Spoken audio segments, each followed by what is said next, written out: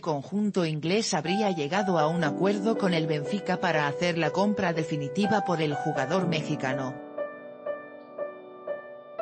El Wolverhampton habría llegado a un acuerdo con el Benfica para hacer efectiva la compra definitiva del mexicano Raúl Jiménez por 30 millones de libras, poco más de 35 millones de euros, casi 40 millones de dólares, luego de haber permanecido a préstamo, según informa el diario inglés The Guardian. El movimiento se hará oficial este jueves en conferencia de prensa, además de que el propio Wolverhampton da indicios de este hecho, pues en sus redes sociales se muestra una imagen de Raúl Jiménez con la fecha del 4 de abril, día en el que harán oficial su compra,